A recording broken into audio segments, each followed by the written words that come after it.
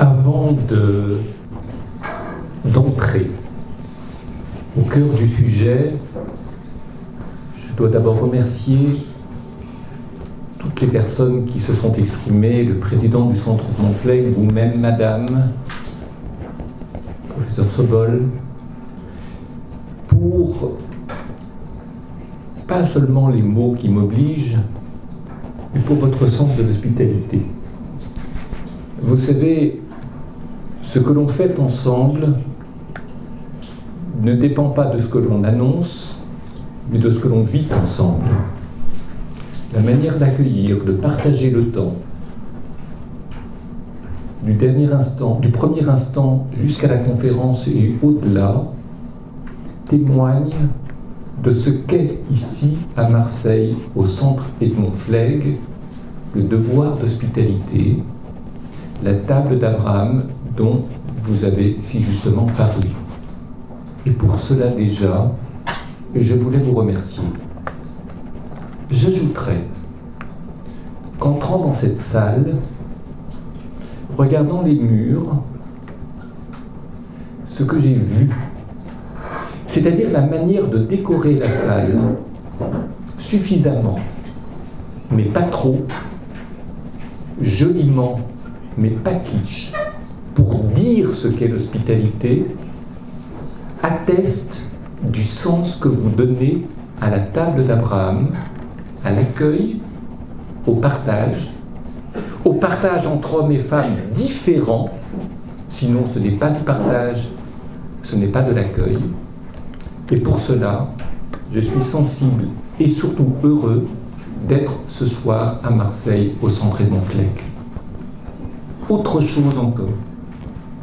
Lorsque nous parlons d'hospitalité, il y a dans chaque religion des grands principes qui font de cette religion la plus belle des religions et qui, par exemple, sur le terrain de l'hospitalité, annoncent un comportement a priori exemplaire. Et pourtant, les religions ont beaucoup de mal à être hospitalières entre elles.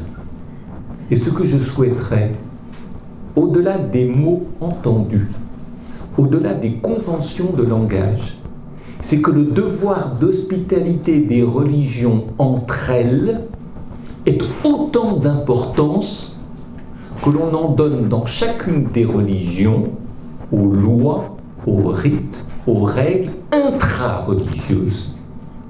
Autrement dit, que le devoir d'hospitalité ne soit pas considéré comme moins important vis-à-vis des autres religions que le devoir auquel on s'astreint pour être un bon juif, un bon chrétien, un bon musulman, pour ne parler que de ces religions monothéistes.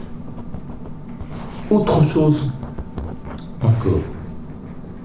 Et avant de commencer cette intervention et de répondre à vos questions, je ne peux pas ne pas vous dire combien non seulement je suis bouleversé, mais beaucoup plus que bouleversé. Je pense que ce qui se passe au Proche-Orient avec la destruction d'une population chrétienne qui est témoin de la langue, de la vie de Jésus, devrait, doit et devra toucher infiniment d'autres religions que la religion chrétienne. Et pour ma part, je ne parlerai que des juifs. Nous vivons avec la destruction de ce christianisme en Irak et en Syrie quelque chose qui est un tournant d'une civilisation la destruction de quelque chose qui est fondateur d'une religion qui est en train de disparaître sous nos yeux. Je ne dis pas dans une indifférence générale, mais presque. Presque. Et les juifs, qui si souvent ont été mis dans les fossés de l'histoire, ont été déconsidérés, pour ne pas dire parfois anéantis, ne peuvent pas être les derniers à témoigner, à soutenir, à agir pour qu'il n'arrive pas la même chose chez des chrétiens qui ont construit l'histoire de cette Église et de ce peuple. Je voudrais, en m'approchant du sujet, la table d'Abraham. Ce que l'on attend de moi, c'est plusieurs choses. La première, c'est une parole de rabbin. Et je vous remercie, Madame, d'avoir rappelé que ce sont les rites, l'accomplissement des rites religieux qui fondent la transmission.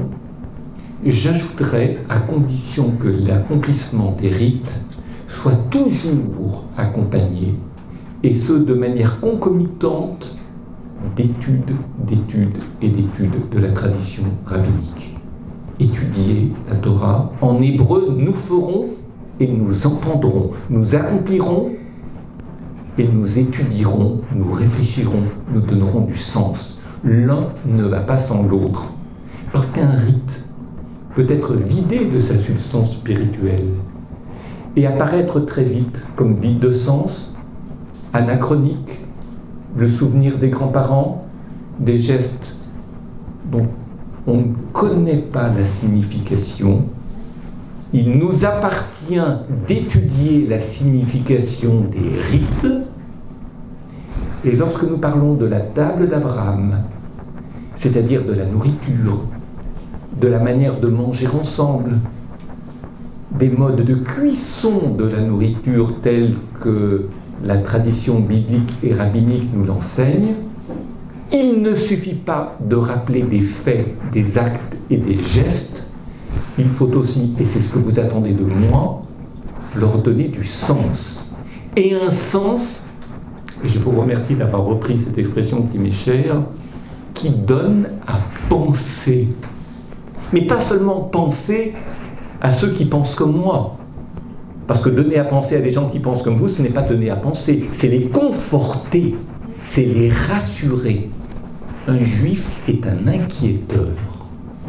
Un inquiéteur, c'est-à-dire quelqu'un qui vient là où il y a trop de lumière, trop de clarté, trop de certitude, déposer un peu de pénombre, un peu de doute, un peu de remise en question, et là où il y a de l'obscurité, un peu de lumière, mais sans jamais aveugler. C'est entre deux qui est si important.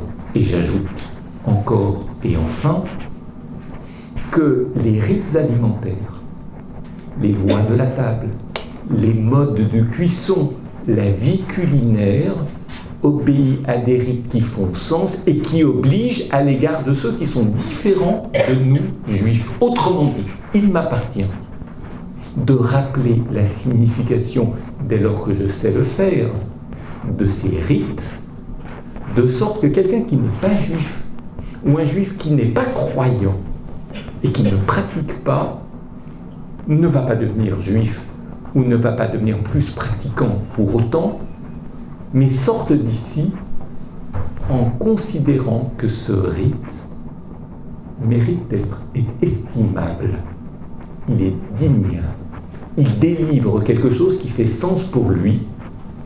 Vous savez, redonner sa dignité à une tradition de sorte qu'elles n'apparaissent pas seulement comme l'objet d'une toute petite minorité qui y croit et les autres n'en ont rien à faire, peuvent s'en moquer, surtout dans un Occident pour qui les rituels religieux font peu sens, où la culture religieuse devient insignifiante, où l'ordre des valeurs relève du tout se vaut, et où hiérarchiser les valeurs devient presque un outrage voire une indignité, voire une manière de stigmatiser ceux que l'on pourrait imaginer comme n'obéissant pas à cet ordre de valeur, et donc seraient considérés comme inférieurs, tout ce type de discours, je souhaiterais le récuser, le délégitimer et lui donner à son discours juif une signification audible par tous.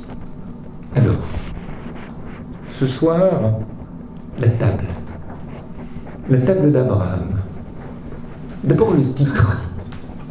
La table d'Abraham, pourquoi Abraham apparaît-il dans le récit biblique comme celui qui incarne le mieux le sens de l'hospitalité? Je pense que c'est d'abord lié à un texte. Un texte qui se trouve dans la Genèse, au début du chapitre 18, lorsqu'Abraham accueille ces trois hommes qui s'avèrent être des anges, qui viennent lui annoncer la, conception et la naissance à venir d'un fils qui sera Isaac. Abraham, je dirais, ce n'est pas un grand malade, mais il sort de maladie, il vient de se circoncire, il est faible, il est souffrant, il est convalescent. Et cela se passe dans un lieu extrêmement chaud. Il lève les yeux, il voit ces hommes, il va vers eux, il n'est plus du tout convalescent, il apparaît comme l'homme qui ne perd pas un instant pour aider, pour se soucier, pour donner du bien-être à ces trois hommes qui sont des anges. Et la tradition rabbinique va beaucoup jouer sur le mot homme et sur le mot ange. Est-ce qu'il savait que c'était des anges? Croyait-il que c'était des hommes? Ça n'a aucune importance. S'il avait su que c'était des anges, vous savez, on accueille des anges comme on accueille des rois. Donc on n'a pas de mérite à accueillir un roi. Parce que si je reçois un roi à la maison, je vais me mettre en quatre, et ma femme surtout, pour que le statut de roi sera à aucun moment perdu de vue. Donc on est sans mérite. C'est une quasi-obligation.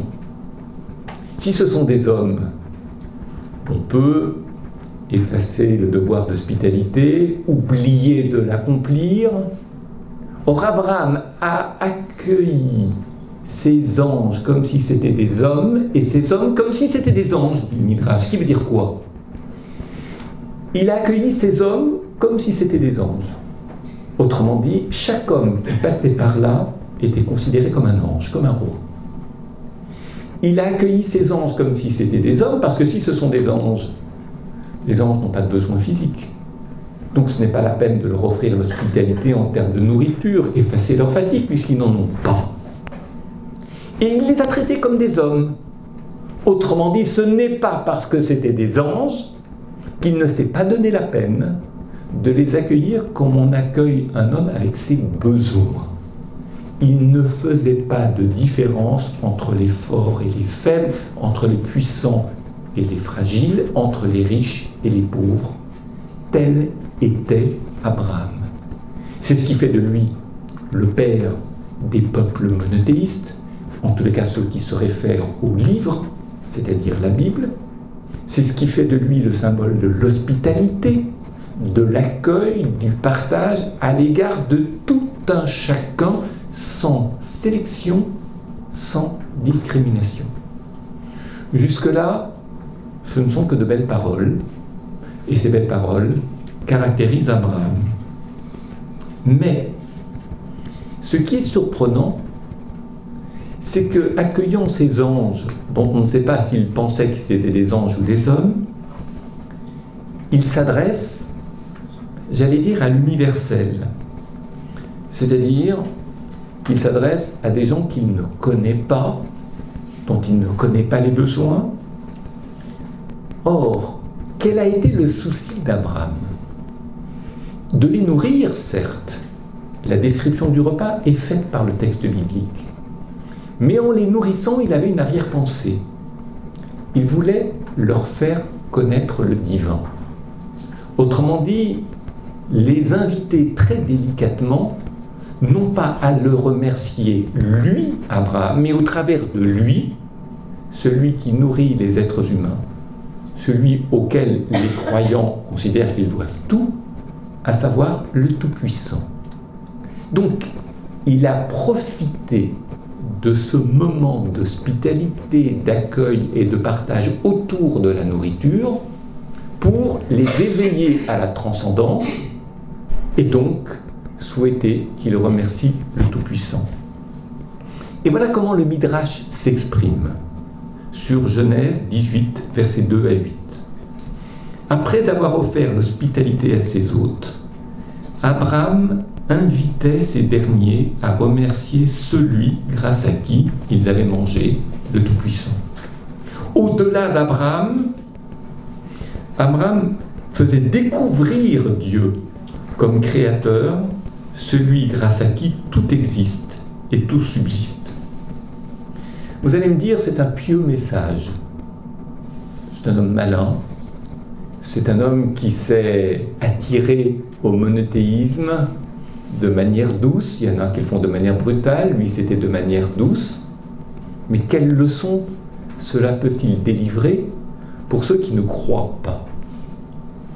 Alors je vais vous répondre ceci en prolongeant le Midrash et en le reformulant dans les termes qui sont les miens.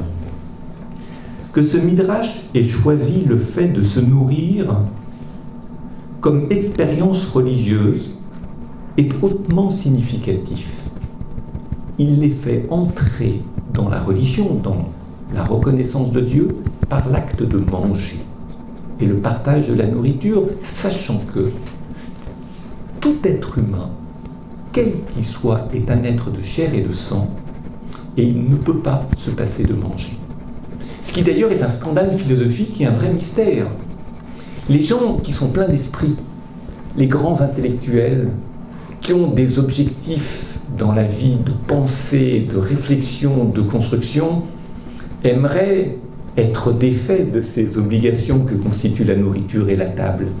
Ils aimeraient pouvoir se consacrer, ne pas avoir à travailler, à gagner de l'argent, à pouvoir que penser, produire, réfléchir. Et pourtant, même les gens les plus intelligents ont besoin de manger. Et ce qui est en réalité révélé par là, ce que cela vient désigner, c'est l'expérience fondamentale de la précarité humaine.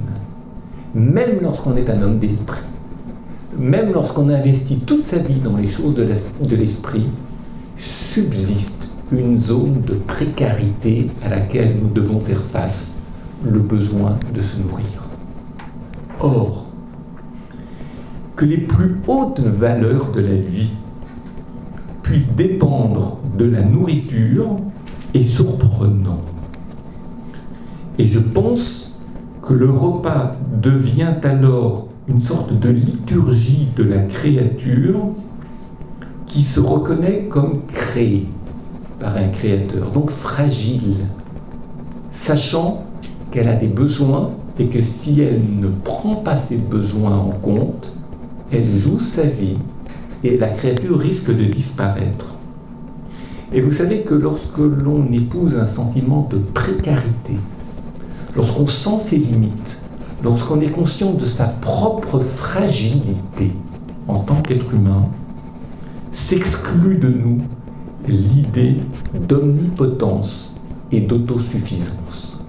Les gens qui sont omnipotents, les gens qui sont autosuffisants, sont souvent des gens qui se pensent immortels, qui pensent qu'il ne leur arrivera rien, qu'ils sont au-dessus des autres, qu'ils ont une force, une capacité à durer, à s'imposer que rien ne peut limiter.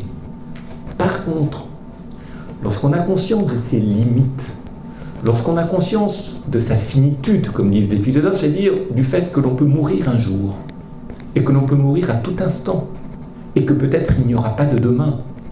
Seuls les gens qui ont vécu dans leur existence des deuils très brutaux connaissent cela. En un instant, la vie peut basculer. En une seconde.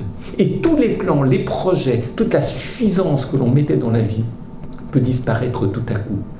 Ce qui oblige que l'on soit religieux ou pas, croyant ou non, à faire son examen de conscience, c'est-à-dire à s'assurer qu'on ne laisse pas des dettes parce qu'on n'est jamais sûr que demain il y aura.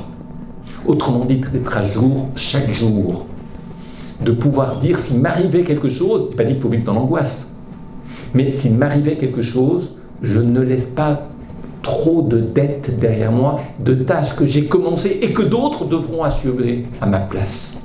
Je suis en ordre. Ça n'a rien à voir avec Dieu, ça que l'on mette Dieu ou non au cœur de la phrase, cette conscience morale existe. Autrement dit, le sens de la précarité, le sens de la finitude, le sens des limites, un sentiment de, non pas de suffisance, Le contraire de la suffisance, c'est la conscience de ses propres limites, que tout n'est pas possible. Ce qu'on appelle la conscience de la loi, qu'il y a des frontières que l'on ne peut pas transgresser, des limites que l'on ne peut pas franchir. Que Abraham éveille la conscience morale de ses hôtes autour de la table, autour du problème de la nourriture, autour du rappel que chaque être humain, quel qu'il soit, a des besoins qui témoignent de sa précarité, de sa fragilité, atteste que ce même Abraham avait conscience de ses propres limites, qu'il était dénué de toute autosuffisance et de toute omnipotence. Et je crois que de ce midrash, sur lequel je me suis trop longuement attardé, dit une chose simple. Être humain, je ne dis pas être juif, je ne dis pas être chrétien, je ne dis pas être musulman, être pleinement humain, je dis homme par opposition à femme, être pleinement homme, homme ou femme, être pleinement humain, c'est avoir conscience de ses limites et chasser en soi et de soi tout sentiment d'autosuffisance et d'omnipotence. Tel était Abraham. Ce qui d'ailleurs n'est pas simple. Dans une société enclin à prôner la suffisance et le pouvoir, l'occupation d'un poste, d'un prestige, d'une image, qui fait que l'on ne peut plus exprimer sa fragilité, parce que l'on est chassé du devant de la société, ces places étant évidemment visées par ceux qui, pleins de suffisance et d'omnipotence, croient que le monde leur appartient et que le monde a été créé pour eux et qui peuvent en quelque sorte dévorer le monde comme si le monde était leur nourriture au quotidien. Ce n'est pas simple d'être Abraham dans le monde qui est le nôtre aujourd'hui. Je voudrais entrer plus au cœur du sujet et sur des points plus difficiles. C'est qu'à partir de là, à partir du moment où tout ce qui se jouait chez Abraham autour de la nourriture et qui éveillait à l'esprit du partage, de la convivialité, de la fraternité, de l'hospitalité, que tout cela se jouait autour de la table des lois nutritionnelles, de cuisson, du choix de la nourriture, puisqu'on va s'interroger dans la tradition rabbinique pour savoir s'il a donné le lait avant la viande ou la viande avant le lait, s'il a donné du pain ou s'il a donné des pains azim, les matzot, les fameuses matzot de Pessah. Donc on est dans le détail. Est-ce que c'est tellement important d'être dans le détail? À cela, je vais vous répondre oui. Mais pas oui parce que je le crois et que ma force de conviction va l'emporter ou va s'imposer à vous. Oui parce que je veux vous l'expliquer en quoi le détail ou pourquoi le détail est si important. Alors on va prendre des exemples. On ne va pas théoriser, on ne fait pas de la philosophie sur des gestes, sur des rites, sur des actes. On donne du sens, mais pour donner du sens, il faut mettre le rite au microscope, c'est-à-dire l'observer de très près, l'étudier dans ses tout petits détails, parce que c'est du détail que naît l'essentiel. D'abord, une observation très générale, mais ô combien importante. Je vous pose, si je vous posais la question, quelle est la première loi qui a été donnée à l'humain dans le récit biblique? Alors, mettez le mot Dieu, mais que cela ne gêne pas les non-croyants, c'est le mot qui est employé pour couvrir l'idée de la transcendance dans le texte biblique. Quelle est la première loi que Dieu a donnée à l'humain? Regardez le récit. La première loi, du faire ou du faire ou ne pas faire. Attendez, là, là c'est votre philosophie de la vie qui transparaît, mais je vous demande d'être fidèle à la lecture du texte depuis le tout début de la Genèse. Quelle est la première loi donnée à l'humain où il est dit tu feras ceci et tu ne feras pas cela? Non, vous avez beaucoup de culture, vous en avez sans doute trop, et vous le montrez. La première loi qui a été donnée à l'humain, et c'était la seule, l'unique qui a été donnée au premier homme, tu ne mangeras pas de la, de la connaissance du bien et du mal. C'est tout. Mais oui, bien sûr. Ceci étant bien sûr, j'ai pas dit que ça n'a pas été dit, mais j'ai entendu tellement de choses en même temps, et comme j'ai les spots dans les yeux, je ne voyais pas d'où partait la voix. Reprenons notre souffle et surtout le récit biblique. Je vous pose cette question et elle est grave. Ne pas manger la connaissance, l'arbre de la connaissance du bien et du mal, je vous pose cette question. Lorsque vous le lisez ou lorsqu'on vous en parle, est-ce que ça change quelque chose à votre vie au quotidien? Et si vous me répondez non, alors je suis très heureux parce que c'est le signe que vous êtes honnête, parce que dans une grande partie de ma vie, c'était une phrase qui ne voulait pour moi rien dire, sauf que l'on m'avait enseigné que, à l'origine, Dieu n'avait donné qu'un interdit, alors que tout le reste était permis, que l'homme et la femme n'avaient pas été capables de respecter cet interdit, et que depuis on avait été chassés du Jardin d'Éden, et qu'on était obligé de travailler, et que la vie était difficile, et qu'il y avait beaucoup de violence, et que si ça ne s'était pas passé comme ça, on aurait été éternellement tranquille, heureux, béat. Pardonnez-moi l'expression, c'est l'image un peu enfantine, pour ne pas dire infantile, qui a accompagné non seulement mon enfance, mais aussi mon adolescence. Et vous savez qu'il y a des gens qui sont adolescents très longtemps dans leur vie. Sauf que ce n'est pas du tout le problème de ce texte. Parce que moi, je peux dire à ce moment-là, on a été chassé du Jardin d'Éden, et pour y retourner, il faut observer la Torah. Le chrétien peut dire, croyez en le Christ, et vous serez sauvés, et le péché originel sera réparé. Et un troisième peut dire ceci, cela, trouver ce qu'on appelle son mode réparatoire. Mais ça me gêne beaucoup. Parce que les modes réparatoires génèrent en général de la violence. Parce que mon mode de réparatoire est indispensable pour revenir à l'état idéal. Mais si celui qui me dit euh, moi je ne veux pas euh, emprunter ce, mode réparatoire, il est en quelque sorte celui qui va empêcher l'histoire de se réaliser. C'est comme à l'époque des bolcheviks. Il y a un avenir radieux qui se dessine devant nous, et puis il y a des gens qui ne veulent pas se diriger vers l'avenir à Dieu. Qu'est-ce qu'on en fait de ces gens qui freinent le déroulement de l'histoire? On les envoie au goulag. Ah, j'ai pas dit qu'on fait le goulag n'importe où. Il y a goulag, il y a toutes sortes de goulag, il y a toutes sortes de mépris, de mise à distance, de manière à recentrer l'histoire autour de ceux qui connaissent la vérité.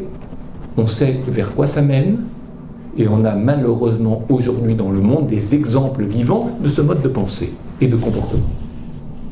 Donc, je reviens à l'histoire de l'arbre de la connaissance. Qu'est-ce qui est dit là-bas? Tu peux manger de tout. L'arbre de la connaissance du bien et du mal, tu n'en manges pas.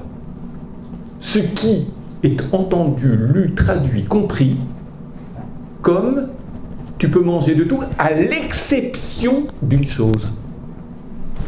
Et dans mon adolescence prolongée, je me disais, il est quand même pas très fort ce là-dedans. On lui interdit une chose, il n'a même pas été foutu de la respecter. Alors maintenant, on nous a donné des tas d'interdits qui nous pèsent et qui nous compliquent la vie. Mais ce n'est pas ce que dit le texte. Ce n'est pas ce que dit l'hébreu. L'hébreu ne dit pas que tout était possible, et sauf une chose, à l'exception d'une chose, ça, c'est pour ceux qui traduisent le VAF par mais, ce qui n'est pas le sens premier de la lettre. Comme si c'était une exception. Tu peux manger de tout, mais il faut que tu saches qu'en tout, il y a de l'arbre de la bonne et de la mauvaise connaissance, et que dans tout ce que tu manges, prête attention à ne pas manger de l'arbre de la connaissance. Autrement dit, ceci est intégré à toute chose ce qui n'est plus une exception, mais quelque chose qui fait partie de chaque élément d'un ensemble. Ça, déjà, dans la littéralité du texte, ça change complètement la problématique. Deuxième enseignement, et pour aller au fond du problème, qu'est-ce que ça veut dire manger de l'art de la connaissance du bien et du mal? Évidemment, quand moi, autrefois, quand j'étais gamin, je pensais que c'était un arbre qui avait été cerclé de rouge, c'est-à-dire de rouge d'une autre couleur. Je pensais que c'était un arbre qui avait été mis à part, il y avait un signe distinctif, et avait, les gens ont des pulsions, des envies, ça va laisser à leurs pulsions, il suffit qu'on leur interdise pour qu'ils aient envie, et c'est ce qui s'était passé. Et pas du tout Enlevez le mot arbre qui vous gêne. Enlevez le mot arbre. Que veut dire manger de la connaissance? Est-ce que la connaissance, ça se mange? Qu'est-ce que c'est que connaître et qu'est-ce que c'est que manger? Connaître, c'est quoi connaître? Je vais vous donner un exemple et chacun donnera son exemple. J'ai la chance de vivre depuis 37 ans avec la femme que j'aime soit. Qu'est-ce que cela veut dire se connaître l'un l'autre? Se connaître, cela veut dire que nous avons la chance, avec le temps qui s'écoule, de découvrir chaque jour ou chaque mois ou chaque année des parts d'étrangeté en l'autre, mais comme nous sommes amoureux l'un de l'autre, cela ne nous fait pas peur. Mais nous découvrons, au fur et à mesure que nous avançons dans la vie, des parts que nous ne connaissions pas en l'autre. C'est comme si, d'une certaine façon, je quittais ma rive pour aller en haute mer, vivre avec quelqu'un qui au départ m'était un étranger ou une étrangère, que j'accompagne, mais je vais très loin de la rive et je ne me noie pas parce que nous nous aimons. Nous, plus nous nous connaissons, moins nous savons tout sur l'autre alors qu'il y a des gens qui pensent tous savoir très vite de l'autre, qui ont construit leur vie ensemble sur ces lieux communs qui leur apparaissent familiers, mais ont mis les blindés sur les parts d'inconnaissables chez l'autre, ou en tous les cas la part ignorée de l'autre dont ils ne veulent en général pas savoir grand-chose, probablement parce que ça leur ferait peur, ou ça les mettrait à distance l'un de l'autre. Que veut dire connaître? Connaître veut dire s'éloigner de soi, mais ce n'est pas seulement valable pour une relation amoureuse ou une relation conjugale ou pour une amitié, c'est valable dans la connaissance des choses, du savoir. Tous les gens qui sont des experts dans une discipline disent plus j'apprends, plus je sais que je suis ignorant. Pas que les gens de Torah. Dans n'importe quel domaine, plus on s'élève, mieux on se rend compte de tout ce qui nous reste à apprendre. Évidemment, si on ne sait pas grand-chose, on n'a pas grand-chose à apprendre. Parce qu'on croit que ce que l'on sait, c'est ensemble. Sauf que c'est l'écume, c'est la surface. Le premier pas. Plus on avance dans le champ de la connaissance, plus on est ignorant. Et connaître, c'est prendre conscience de cette ignorance et ne pas l'effacer, ne pas la faire disparaître, ne pas agir de sorte que l'on que cette ignorance fasse peur. C'est pas donné. Ça se travaille, comme dans un couple. Puis avoir des moments difficiles dans un couple, parce qu'on peut avoir peur, mais si on accepte de ne pas fuir, et qu'on accepte de retravailler la relation, de changer sa posture, de questionner autrement, d'être à l'écoute de questions qui nous sont étrangères, ça peut valoir le coup.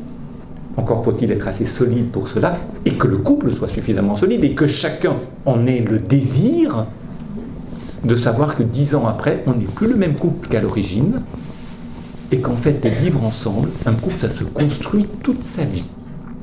Et qu'on ne se construit pas uniquement sur la base qui nous a attirés, qui nous a permis d'être ensemble au début. Ceci étant, connaître, c'est s'éloigner de soi, découvrir une part d'étrangeté, l'accompagner, et plus on l'accompagne, plus cette part d'étrangeté s'élargit, s'approfondit, et en même temps, cela ne nous éloigne pas, cela ne nous sépare pas, cela ne nous détruit pas. Mais attention, si vous refusez cette part d'étrangeté et que vous réduisez l'acte de connaître à la seule satisfaction d'un besoin, je peux avoir envie de connaître une femme, Je peux avoir le béguin pour une femme, je peux avoir une attirance, cette femme m'attire. Je consomme, je mange. Pour satisfaire ce besoin, je m'empare de l'autre, je l'utilise comme une nourriture pour me satisfaire, pour répondre à mon attente. Mais attention, le vrai problème, c'est après. Parce que lorsqu'on a satisfait un besoin, ou bien on abandonne, ou bien on réitère, l'expérience jusqu'à ce qu'on s'en épuise, ou alors on découvre que l'autre n'est pas seulement cela, que cela pose problème, parce qu'on découvre une part d'étrangeté que l'on n'avait pas imaginée, parce qu'on n'avait vu que la part que l'on avait envie de consommer, c'est-à-dire de partager immédiatement pour se faire plaisir l'un l'autre, et c'est là que les problèmes commencent. J'aime parler des principes bibliques et rabbiniques dans le langage du quotidien, de notre vie quotidienne. Connaître s'oppose à manger, s'oppose à consommer. C'est la raison pour laquelle on ne mange pas de la connaissance. Connaître, c'est accepter que même si on mange, c'est pour ça qu'on peut manger de tout, mais attention, de sorte qu'en ayant mangé de toutes choses, il reste cette part d'étrangeté qui n'est pas consommable, autrement dit qui n'est pas réductible à la satisfaction d'un besoin, et qu'il commence à partir de là ce devoir d'accompagnement, de recherche, d'éloignement de soi, qui fait que loin de soi, l'étranger nous est en même temps familier, sans que l'on ait réduit l'étranger à soi-même à l'ipséité, c'est-à-dire à une image identique à soi-même. Et les brebis dira simplement Tu ne mangeras pas de la connaissance. Et comme l'arbre est le symbole de l'humain, l'arbre est un homme, dira le maral de Prague, c'est la raison, un être humain. L'arbre est un être humain, c'est pas un être humain, mais je veux dire, c'est la symbolique des racines. Il faut être enraciné être redressé vers les choses du ciel, c'est-à-dire vers là où on lève les yeux vers les choses de l'esprit, comme l'être humain peut l'être. Et donc, pour parler de la connaissance, on prendra le symbole de l'humain tellement bien évoqué par l'arbre pour dire tu ne mangeras pas de l'arbre de la connaissance. Et alors, c'est quoi le bien et le mal? C'est pas qu'il y a un arbre du bien et un arbre du mal. Ça aussi, c'est une traduction fausse de l'hébreu. C'est une projection qui n'a rien à voir avec la réalité textuelle. Il y a la bonne et il y a la mauvaise connaissance. Ce qui n'est pas la même chose que la connaissance du bien et du mal. La, la mauvaise connaissance, c'est une connaissance qui est réduite à l'acte de manger. La bonne connaissance, c'est celle qui accepte de manger, mais qui ne réduit pas l'acte de connaître à la seule satisfaction du besoin, ce que j'ai appelé la mendication, c'est-à-dire l'acte de manger, mon propos est un peine difficile, mais chaque fois que j'emploie un mot un peu difficile, je donne une autre manière de le dire pour que, je l'espère en tout cas, vous ne perdiez pas pied dans ce petit suivi du fil du verset. Effectivement, si on mange de la connaissance, ou qu'on réduit l'acte de connaître à l'acte de manger, alors il y a de la mort derrière, c'est ce que dit le texte biblique, vous mourrez. Si par contre on veut qu'il y ait de la vie, mais c'est comme ça que se passe une relation humaine, si vous mangez l'autre, si vous réduisez la relation à la seule satisfaction des besoins, la relation génère quelque part de l'extinction et de la mort, de l'effacement. Elle s'éteint. Si vous travaillez la part manquante, c'est-à-dire ce qui est de l'ordre de l'inconnaissable immédiatement, ce qui est de l'ordre de l'étrangeté, ce qui est de l'ordre de la nouveauté, et que vous n'en avez pas peur, vous générez de la vie parce que vous découvrez des nouveaux territoires de l'humain, de la relation, du monde, du savoir, peu importe. J'ai peut-être tout dit.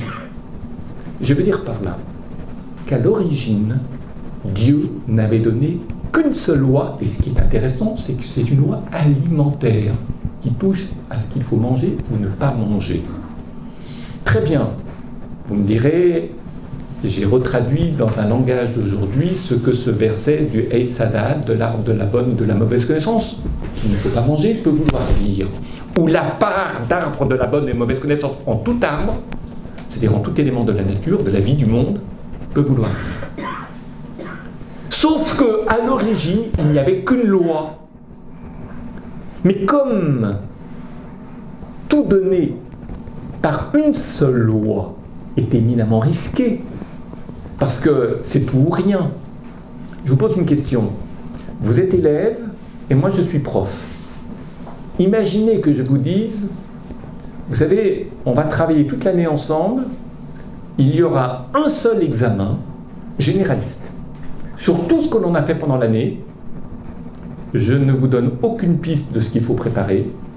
Vous vous débrouillez à partir de ce que vous avez acquis. Et vous vous débrouillerez à l'examen. Ça peut être un peu de ci, un peu de ça, une autre idée, peu importe. Pour l'auditoire, est-ce que c'est rassurant? Je peux vous le dire autrement.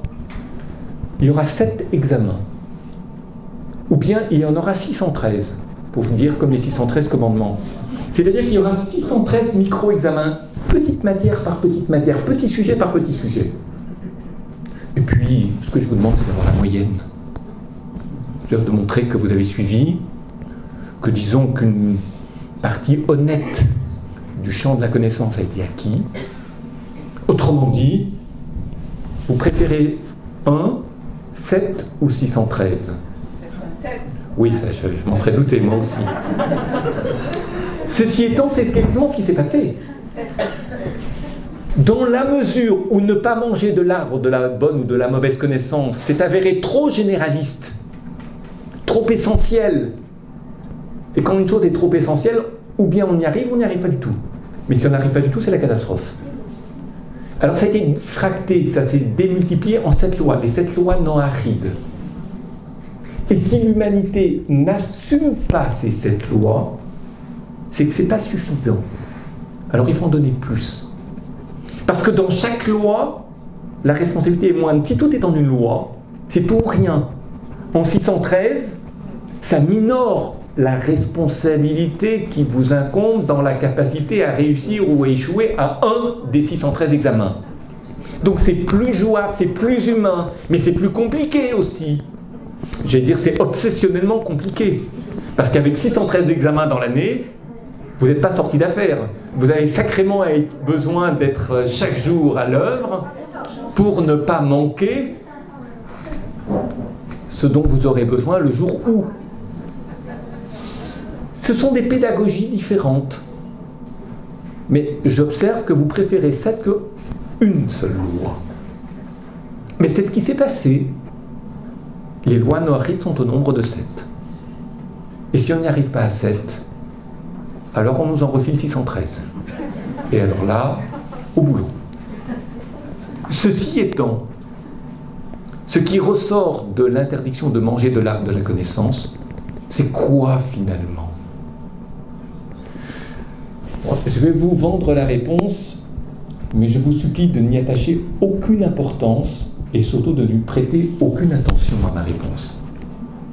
Si vous étudiez chacun des 613 commandements bibliques, si vous les travaillez chacun pendant des jours, des semaines, des mois avec la littérature talmudique, avec la littérature rabbinique, Kabbale, Midrash, vous finirez par vous rendre compte que chacun de ces 613 commandements, dans son sens profond, ne fait rien d'autre que d'épouser la formule suivante, tu ne mangeras pas de la bonne ou de la mauvaise connaissance. Le fait que je vous le dise ne vous sert strictement à rien et ne me sert à rien. Parce que je le sais, je connais la réponse, mais lorsque je commence à travailler chacun avec le Talmud, etc., au bout de 10 minutes, ça m'est sorti de la tête. Pourquoi? Parce que le relief de la mitzvah, du commandement, est tellement étonnant, tellement différent de l'image biblique, que l'image biblique, elle disparaît très vite. Et c'est des mois ou des années plus tard, lorsque je suis arrivé à la conclusion, que je me rends compte que finalement, la réponse, je la connaissais depuis le début. Mais attendez, il y a peut-être des gens parmi vous qui ont un jour de leur vie été en thérapie ou en analyse, en psychanalyse. Un homme qui va en psychanalyse, pourquoi il y va dans la majorité des cas? Problème de l'Oedipe, entre la mère et le fils. C'est pas faux. Ça relève de l'universel de certaines cultures. Le fait, en allant en analyse, de m'entendre dire par l'analyste, lorsqu'on fait connaissance, Monsieur, vous avez un problème avec votre mère, est-ce que ça m'apporte quelque chose?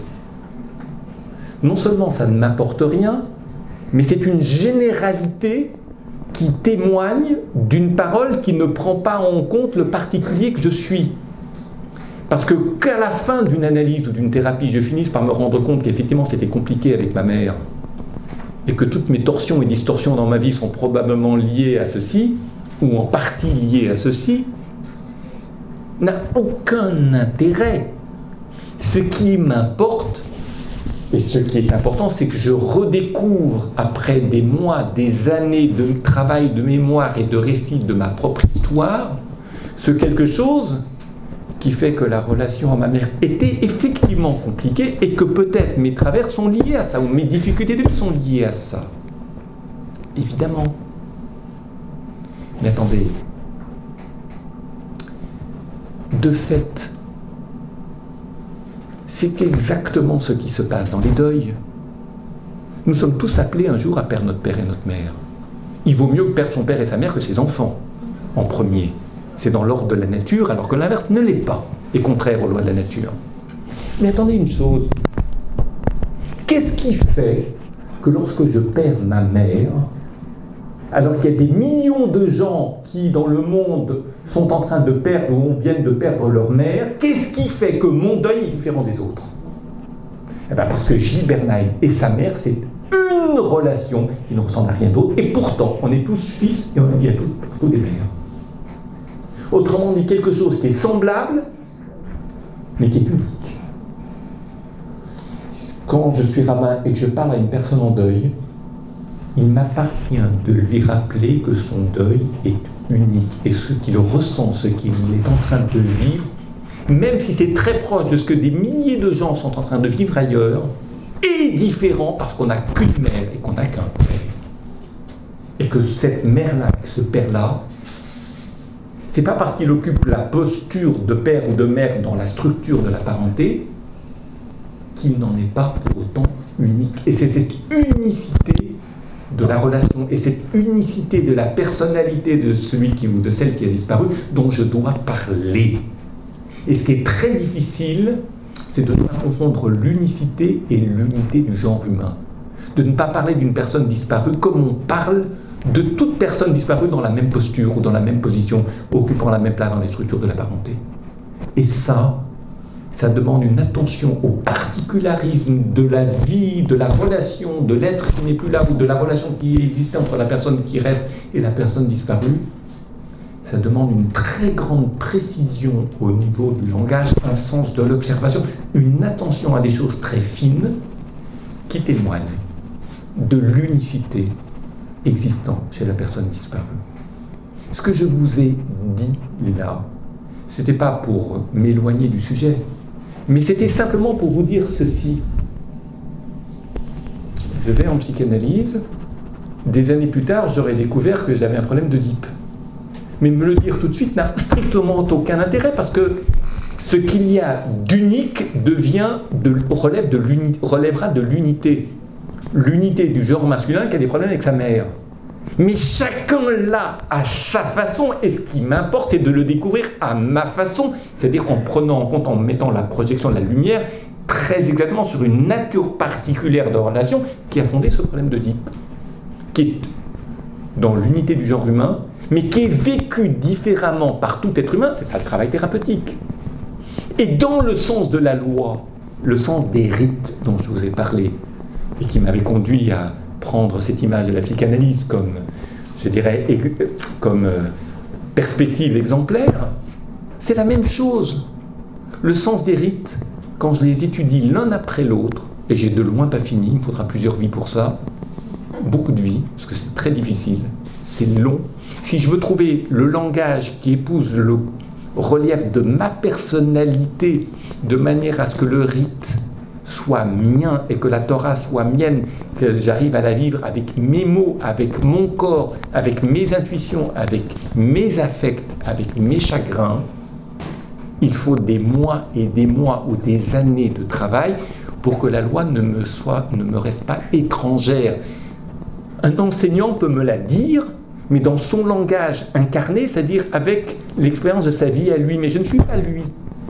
Or, le travail personnel, c'est précisément faire de cette loi une loi qui soit mienne, qui fait qu'elle fait partie de ma respiration. Elle n'est pas difficile, si elle est peut-être complexe, mais elle, elle, fait partie de ma respiration de vie. Et toutes les lois signifient ne pas manger de l'arbre de la bonne ou de la mauvaise connaissance, toutes. Sauf qu'il y a 613 manières, 613 situations ou moments de la vie qui en attestent, mais chaque fois de manière différente, d'où le parcours intellectuel très différent d'un exemple à l'autre. Mais c'est toujours comme aboutissement le point du commencement, comme si ce vers quoi je me dirigeais, je le savais déjà, je le connaissais depuis l'origine, puisque c'est la première loi donnée à l'humain. Alors, avant de vous laisser la parole, rapidement deux choses. Vous savez par exemple à propos des lois alimentaires, pour donner maintenant des exemples de la table, qu'il est interdit de mélanger le lait et la viande. J'ai entendu une réponse brillante parmi d'autres dans la salle tout à l'heure quand j'ai demandé quelle est la première loi donnée à l'humain dans la Torah. Quelqu'un dire tu ne feras pas cuire le chevreau dans le lait maternel. Cette loi-là, elle est donnée à trois reprises, et la première fois, c'est dans l'Exode 23, 19, chapitre 23, verset 19. Écoutez bien les mots du verset, et vous allez voir combien les mots sont parlants. Lot vachel gedi bachalevimo. Tu ne feras pas cuire le chevreau dans le lait maternel. Question des Tosafis, commentaires sur le Talmud. Dans le traité de Choulin, ne pas faire cuire le chevreau dans le lait maternel, est-ce que cela signifie qu'il est permis de le faire cuire dans le lait, euh, de faire cuire le chevreau dans le lait qui n'est pas celui de sa mère? Attendez, quand vous mettez du lait dans une casserole et un morceau de viande dedans, c'est pas nécessairement le lait maternel. C'est du lait qui vient d'une vache euh, de quelque part en France, dans lequel vous mettez un morceau de bœuf qui vient d'un autre animal d'une autre région. Alors que c'est quoi cette affaire? Pourquoi le verset dit-il Tu ne feras pas cuire le chevreau dans le lait de sa mère? Alors évidemment, on nous répondra T'inquiète pas, mon vieux, c'est pas pour autant si le lait n'est pas le, le, lait maternel que ça va être permis. Ça, je m'en serais douté. Mais alors pourquoi avoir dit dans le lait maternel? Ça, c'est plus compliqué. Et la réponse Vous savez, la réponse, lorsqu'on vous la donne, vous vous dites, évidemment, évidemment, c'est tout simple. Comment n'y avais-je pas pensé?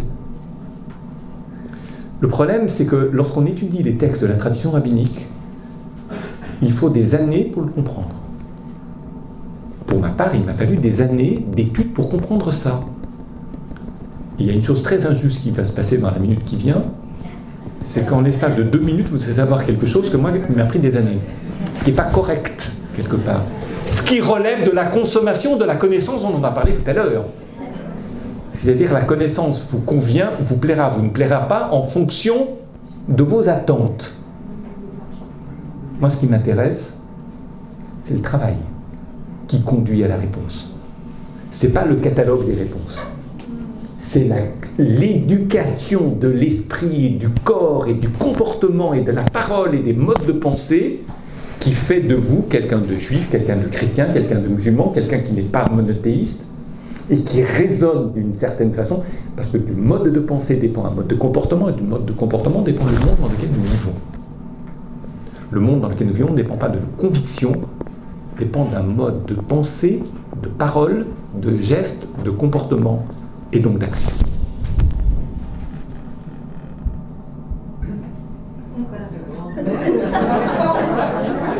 Le chevreau dans le lait de sa mère. Je me suis autorisé à 4 secondes et demie de respiration intérieure pour récupérer. vous n'avez pas supporté plus. Attendez une seconde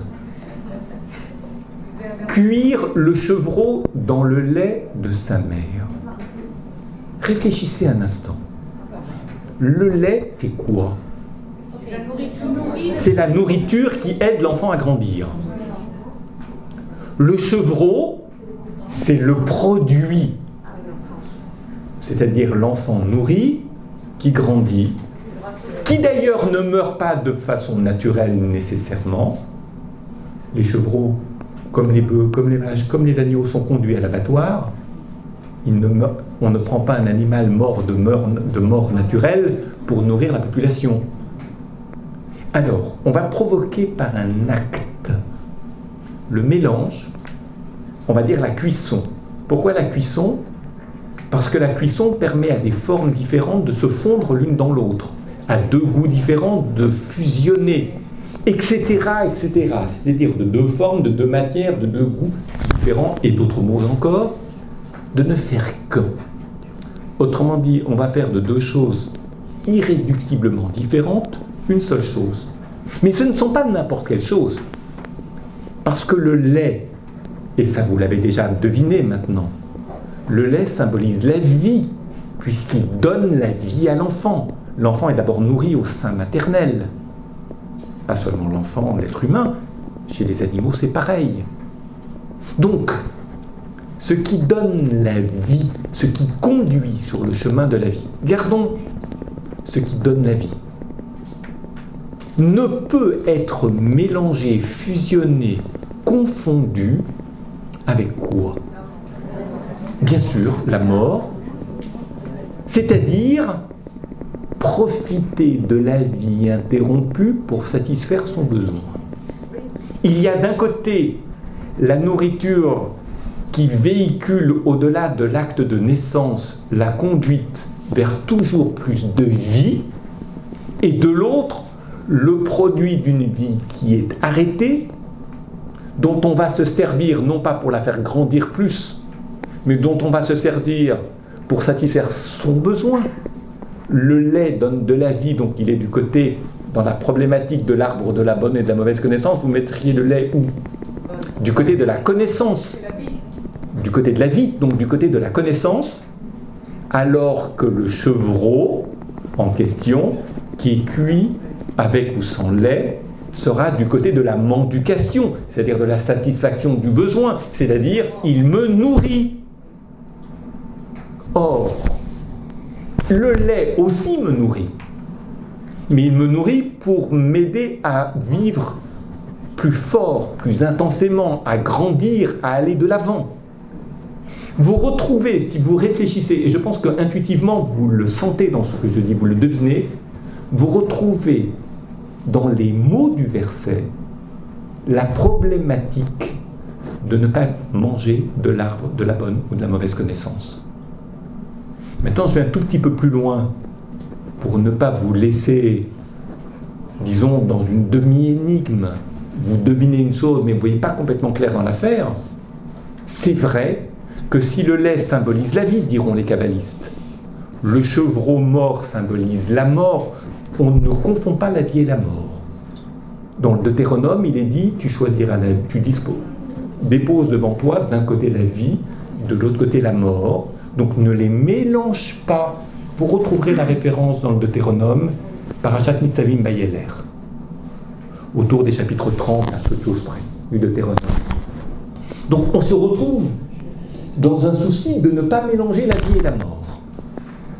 Qui d'ailleurs principe n'est pas très différent de ce que nous avons expliqué tout à l'heure à propos de l'art de la bonne et de la mauvaise connaissance, d'où, de ma part, le besoin tout à l'heure de multiplier les exemples. Je parlais du coup, je parlais d'autre chose, de la connaissance du savoir. Dans la connaissance d'un autre être humain, il y a une part de vie, une part de mort. C'est-à-dire quelque chose qui peut être réducteur à, la, réductible à la satisfaction de besoin. Donc quelque chose qui était désirable, porteur de vie, va petit à petit s'éteindre parce que chacun a profité pour lui-même. Et puis, il y a dans ce même acte, comme dans un acte sexuel, une part de connaissance de l'autre qui fait que on n'a rien épuisé de l'autre, qu'après, il y a une part d'étrangeté plus grande, et plus l'intimité est intense entre deux êtres, plus la part d'inconnaissable chez l'autre apparaît. Sauf que lorsqu'on est amoureux, ça ne fait pas peur. Donc on peut accompagner, on peut aller sur ce chemin. Et si on n'est pas amoureux, on, panique et on interrompt la relation. C'est-à-dire on y met fin. Parce que c'est pas ce qu'on croyait. On découvre autre chose. Donc on va vite revenir vers des figures beaucoup plus familières.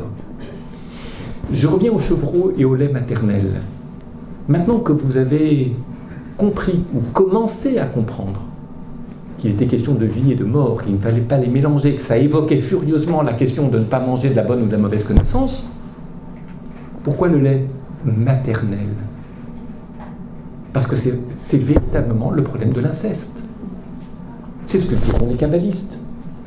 C'est-à-dire que le chevreau, c'est l'animal qui a atteint le terme de sa vie. On ne régresse pas, on ne revient pas au point des origines. On ne revient pas au point de départ. On ne confond pas l'aboutissement et l'amorce. Lorsque je m'éloigne de moi-même, il faut que j'accepte. Vous savez, c'est quelque chose que j'ai souvent entendu dans les couples, y compris dans le mien. À un certain moment, l'autre vous dit, et vous ne comprenez pas pourquoi l'autre vous le dit. Arrête de parler de toi, ou de ramener les choses à toi. Je suis en train de te dire quelque chose, et ce que tu en entends, c'est quelque chose que tu ramènes à quelque chose de tes expériences à toi. Ce qui fait que tu n'écoutes pas la part d'étrangeté qui existe dans ce que je suis en train de te dire, et c'est ce qui fait que, à la limite, je perds mon temps ça peut nous éloigner au lieu de nous rapprocher, au lieu de nous aider l'un et l'autre. En tout cas, moi j'en ai besoin, dire à l'autre. Mais je comprends très bien cela, ce qui veut dire que je sais faire face à toutes ces situations. Je comprends en tous les cas intégralement très bien ce qui se joue là. À savoir qu'à un moment donné, il faut être capable de s'éloigner de son point de départ, de son origine, ce que j'appelais la mort tout à l'heure. Là où je suis tranquille, là où je suis né, comme les gens qui ne savent parler que d'eux-mêmes, de leurs souvenirs, de leurs histoires passées, etc., qui sont incapables de faire face à un présent et de penser un avenir avec une autre personne. Ils racontent leur histoire à l'autre. Mais quand vous avez fini de raconter votre histoire, il n'y a plus rien vrai. Il peut n'y avoir plus rien. Ça, c'est ce que j'appelle l'amorce. C'est ce que j'appelle le commencement. Et si ce vers quoi vous vous dirigez, là où vous vous dirigez, n'est que le point de départ, c'est ce qu'on appelle de l'inceste. C'est-à-dire vous n'avez pas quitté votre mère. La maman, elle est faite pour écouter les histoires d'enfants. Et elle sait écouter les histoires d'enfants. Mais si toute votre vie, vous ne racontez que des histoires d'enfants, ou les histoires de votre enfance, ou les histoires de votre passé, c'est que vous considérez l'autre comme votre mère. Or, l'autre n'est pas ma mère. Ma femme n'est pas ma mère. Ce qui veut dire qu'il y a quelque chose d'incestueux qui est en train de se créer dans la relation de couple. Et je suis précisément et je le reprends dans une terminologie biblique, je suis en train de mélanger la viande dans le lait de sa mère. Sauf que c'est dit avec une terminologie totalement différente. Et quand je vous dis ce n'est que, c'est un peu la même chose, si je n'avais pas fait tout le parcours depuis une demi-heure ou trois quarts d'heure, vous me direz, il est cinglé. Évidemment. Mais lorsqu'on est passé par tous ces, je dirais, ces espaces de pensée intermédiaires, ces jalons intermédiaires, les choses se construisent, elles s'évoquent l'une l'autre, elles se ressemblent, elles s'emboîtent les unes les autres, on voit ce qu'il veut dire, il c'est moi. Donc on ne fera pas cuire le chevreau dans le lait de sa mère. Ce n'est pas que dans le lait d'un autre animal ce soit permis, mais dans le lait de sa mère, ça donne sens au mot du verset et ça permet de comprendre ce qui se joue là. Autrement dit, ne mélange pas la vie et la mort, ne mange pas de l'arbre de la bonne ou de la mauvaise connaissance. C'est la raison pour laquelle on ne mélange pas la viande et le lait. Mais vous comprendrez aussi à partir de là pourquoi on peut boire du lait d'abord et manger de la viande ensuite. Mais on ne peut pas manger de la viande d'abord et boire du lait ensuite. Alors on se lave la dent, on se lave la bouche, on se lave les dents, simplement pour effacer le goût, pour éviter le mélange des goûts. Mais ça, c'est, je dirais, c'est formel. Comme les nappes, les vaisselles, pour éviter les prégnances de de goût, ça c'est autre chose. Mais sur le fond même du rite, ce qui se joue là, le lait, c'est l'origine, la viande, c'est le terme. Donc on respecte la temporalité de l'humain, c'est-à-dire le temps de la construction de la vie humaine. Si on met la viande en premier et le lait après, c'est une forme de régression, de retour au point des origines, ce que l'on appelle un inceste. Si je prends ma femme pour ma mère, ou si je suis incapable de m'éloigner du point des origines, le lieu d'où je viens, qui est le lieu maternel, c'est-à-dire ma mère, la maison maternelle, etc., il y a quelque chose d'incestueux. En tout cas, quelque chose d'immature, quelque chose qui fait que je n'arrive pas à grandir. Je ne suis bien que là où je suis sécurisé par l'amour maternel. Donc je ne saurais pas affronter quelqu'un qui n'acceptera pas que je m'intéresse et que je respecte ses différences. Dernière chose. Voyez, si je bois de l'eau, pour prendre cet exemple du coca, je vais réciter une bénédiction avant de boire. La première fois, pas systématiquement. Et qu'est-ce que je dis Béni sois-tu, Baruch Ata Hashem, Dieu, le puissant, peu importe, être du monde. Pour l'eau ou le coca, en hébreu, je dirais qu'il a tout créé. Et il y a une autre bénédiction pour le pain, pour les fruits, pour le vin. Laissons la spécificité de chacune des bénédictions de côté. Maintenant, écoutez-moi. Pourquoi bénir l'eau ou réciter une bénédiction avant de boire Pour rappeler que Dieu est créateur de tout? Attendez. Réfléchissez un instant. D'accord. Je dois être pratiquant, parce que je suis croyant, je récite des bénédictions, parce qu'on m'a dit il faut réciter des bénédictions, et d'ailleurs, très petit, mes parents m'ont bien appris, avant de manger, récite d'abord la bénédiction, comme j'ai appris à mes enfants, etc. Très bien. Je dirais c'est un rituel qui devient familier, et plus c'est familier, plus c'est facile, puisque c'est ancré dans nos habitudes. Donc a pas d'effort de mémoire ni de soucis. Très bien, je le fais systématiquement. Ça vient comme ça. Mais un jour, je me suis posé la question. Un jour où j'avais envie de sortir de l'adolescence. Je me suis demandé qu'est-ce que c'était que ce bon Dieu qui avait besoin de bénédiction. Vous me direz, Monsieur Bernard, vous avez mis longtemps pour vous poser des bonnes questions. Il vaut mieux se les poser un jour, ne jamais se les poser. Mais il faut se poser un jour ce genre de questions si vous voulez accéder à un deuxième niveau de religiosité où, le rituel religieux devient intelligible. C'est-à-dire ne vous êtes pas simplement éduqué, imposé de l'extérieur, mais où il devient vôtre parce qu'il les contours de votre relief, comme je le disais tout à l'heure, que la loi devienne mienne. Alors je vais vous dire une chose. Effectivement, ce jour-là, je me suis dit, mais attends, un Dieu qui fait la, on disait, il faut que tu récites X bénédictions par jour, on m'avait donné un chiffre, alors je vérifiais, dans mes accents de, grande piété, je vérifiais si j'avais bien fait mon compte de bénédiction, ça me prenait un temps fou de recenser toutes les bénédictions depuis le matin jusqu'au soir, qu'est-ce que j'avais récité, etc., pour arriver à côté du compte. Je me demandais, mais ce Dieu est un tyran. Il me rend complètement obsessionnel. Il va me rendre fou il recense les louanges que je lui adresse. Que nous, on ait besoin d'être remerciés, que nous, on aime être louangés, soit. Mais le Tout-Puissant, le Créateur des cieux et de la terre, il a besoin de remerciements.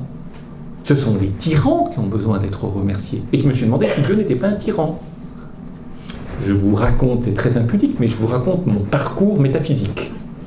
C'est-à-dire mes moments religieux à un moment de la vie J'étais pas un adolescent, c'était plus tard. Et en étudiant, et heureusement que l'on a rencontré des maîtres, heureusement que les maîtres vous donnent accès à des livres, heureusement que vous, sachiez, vous savez lire et traduire, et que des maîtres vous donnent accès à la méthode de ces livres.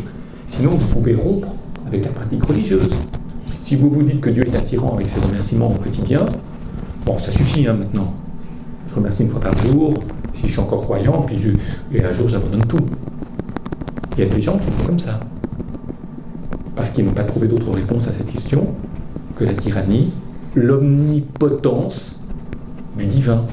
Une forme de suffisance du divin qui a besoin d'être mangé en permanence. Au moment où j'ai, quand j'ai soif, j'ai donc envie de satisfaire un besoin qui s'appelle la soif.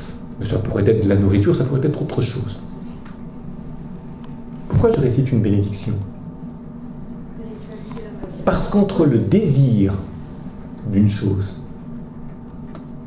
le désir m'incite à consommer, c'est-à-dire à prendre quelque chose qui se trouve dans la nature, dans le monde, qui fait partie du monde, monde au sens de la nature, pour le faire mien, je ramène quelque chose qui est extérieur à moi pour satisfaire mon moi et donc être comblé. Pardon d'employer un langage un peu d'enfant, mais c'est ça. Or, dès lors que j'ai envie d'une chose, de m'approprier le monde, de le faire mien, monde ou quelque chose de la nature pour satisfaire ma soif ou ma faim, autre chose, qu'est-ce qui va se passer? Une réparation à faire. Je mange de l'arbre, mais est-ce que ce que je mange préserve la part de connaissance qui est irréductiblement étrangère à la satisfaction du besoin. C'est toute la part qu'on avait traversée tout à l'heure, la part de raison qu'on a traversée tout à l'heure. Vous allez me dire, alors monsieur, avec votre verre d'eau, c'est quoi la part de connaissance? Attends, je vous, je vous rassure tout de suite, la Torah n'est pas une religion fétichiste. C'est pas dans le symbolique de l'eau ou dans la substance de l'eau qu'il y a quelque chose qui. Non, pas du tout. Du tout. Du tout. Au moment où je bois, ce que Dieu attend de moi en termes de connaissance, c'est vous. C'est pas l'eau que je sacralise en la sanctifiant et en la sanctifiant par la bénédiction. Pas du tout. C'est vous qui m'apportez. Autrement dit, au moment où je ramène le monde à moi, où je consomme, où je mange le monde, où je satisfais mes besoins en m'emparant quelque chose de la nature pour le faire mien et le réduire à rien qu'à la satisfaction de mon besoin, se pose la question de vos besoins, donc de la socialité, donc de l'être ensemble dans ce monde. Autrement dit, est-ce qu'en m'emparant de quelque chose du monde, je ne suis pas en train de priver quelqu'un, voire de détruire quelqu'un, en train de faire que quelqu'un meurt de soif, ou va souffrir de la soif C'est le début de la vie politique qui s'inscrit au cœur de la bénédiction. Et c'est la raison pour laquelle la bénédiction est prononcée entre le moment où je m'apprête à m'emparer de quelque chose du monde, à le manger, manger au sens générique du terme, bien évidemment, manger, boire, peu à le faire mien, que je dois réciter cette bénédiction qui me donne à penser, qui va induire ma pensée du monde, des autres, à propos des autres. Je m'arrête et en récitant cette bénédiction, je la comprends parce que je l'ai étudiée de près, cette bénédiction. Et qu'est-ce qu'elle me dit? Dans la mesure où tout a été créé par Dieu, ce n'est pas uniquement pour nous dire l'eau aussi, pardon, il y a bien autre chose dans cette bénédiction. Nous avons tous été créés par Dieu. Chaque être humain est créé à l'image de Dieu, dit le verset. Ce qui veut dire que tout être humain créé ayant été créé à l'image de Dieu, a la même importance, a la même dignité, et que je me dois de préserver cette dignité de chaque être humain. Mais le problème, c'est qu'au moment où je satisfais mon besoin, au moment où je ramène le monde à moi, quand j'ai soif, je suis seul au monde. Quand j'ai envie d'une chose, je pense plus aux autres. Quand j'ai trop envie de quelque chose, les envies des autres, les besoins des autres, ils n'existent plus. Vous le savez, on est tous comme ça, plus ou moins, selon. C'est la raison pour laquelle, à cet instant-là, la tradition rabbinique me dit béni. C'est pas béni pour sacraliser l'eau, pour lui donner une auréole et en faire quelque chose de survalorisé. Pas du tout. Ça change rien à l'eau. L'eau n'a pas besoin de ma bénédiction. Sinon, c'est du fétichisme. Non. Au moment où je prends l'eau pour moi, je réinscris Madame tout à l'heure, le souci de l'autre au fondement de la loi juive qui me demande de bénir. Autrement dit, je rappelle mon souci de l'autre, c'est-à-dire le fait que l'autre peut avoir les mêmes besoins que moi, et qu'au moment où je bois, je dois prêter attention à l'ordre du monde, c'est-à-dire au fait que tout le monde a besoin de boire, peut avoir soif, et donc le partage est important, l'équité, la socialité. On va multiplier les concepts, les vertus, ce qu'on appelle les midotes en hébreu, ça n'a pas d'intérêt ici, vous pouvez le faire seul.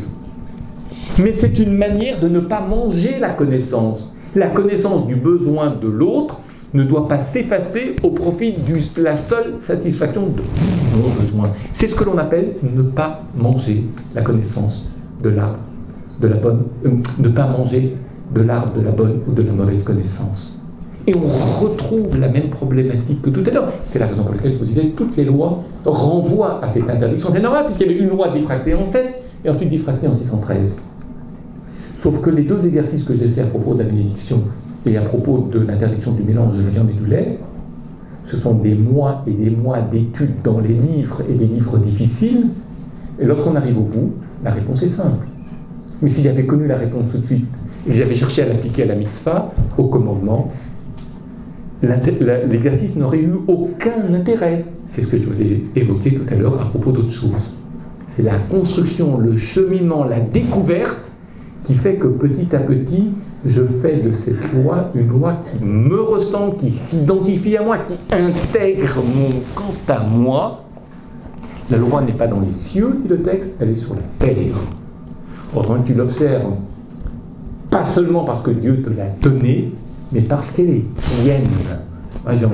C'est parce que j'ai en face dans ma rue, de ma maison, un boulanger qui fait un pain qui n'est pas bon, que l'idée du pain doit être supprimée, que je ne fréquente plus les boulangeries. Je cherche une bonne boulangerie. Donc pour cela, il me faut travailler jusqu'à ce que je trouve le bon pain avec la bonne cuisson. Et que je trouve le bon maître avec les bons cheminements, avec les bons livres, avec les bons modes de raisonnement, pour que la table fasse sens, pour que le rituel de la table, la nourriture, la cuisson, la symbolique de la nourriture, fasse sens, c'est-à-dire donne à penser. Et comme euh, j'ai bien conscience d'avoir parlé deux fois plus longtemps que ce qui m'a été demandé, autorisé, j'en profite pour conclure. Madame, vous avez rappelé tout à l'heure cette phrase donner à penser. Je la prolonge avec les mots qui sont toujours miens, que j'aime, et réitérer systématiquement. Ce qui fait la grandeur d'une tradition, d'une religion, d'un mode de pensée ne réside pas dans la capacité à convaincre. La grandeur d'une religion réside dans sa capacité à donner à penser, j'ai pas dit à faire, mais d'abord à penser à ceux qui ne croient pas en elle et bien dit ceux qui ne croient pas en elle. Parce que dire à des gens qui sont très pratiquants qu'il ne faut pas mélanger la viande et le lait, qu'il faut réciter des bénédictions, pardonnez-moi, ils ne vont pas se déplacer pour ça, ils le savent. Le dire de sorte qu'une personne qui n'est pas croyante ou qui n'est pas juive puisse entendre dans le mélange, l'interdiction du mélange de la viande et du lait, ou dans la bénédiction quelque chose qui fasse sens pour lui, qui l'aide dans sa vie, à se diriger, ne pas manger de la, bonne, de la mauvaise connaissance. Entendre dans un verset comme ça quelque chose qui peut gouverner sa vie, le diriger, dessiner son parcours quotidien, c'est l'objet de notre étude. C'est l'objet de cette soirée. Donner à penser à ceux qui ne croient pas comme moi.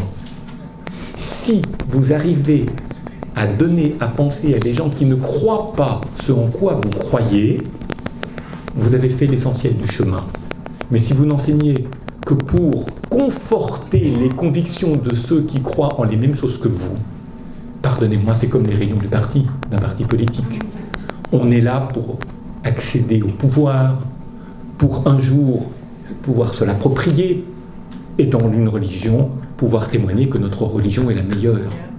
Je ne sais pas si ma religion est la meilleure elle est la meilleure pour moi, elle est la meilleure pour mon peuple. Et je pense que pour un chrétien, sa religion, elle est la meilleure pour lui. Et pour un musulman, s'il en fait un bon usage, elle est la meilleure pour lui.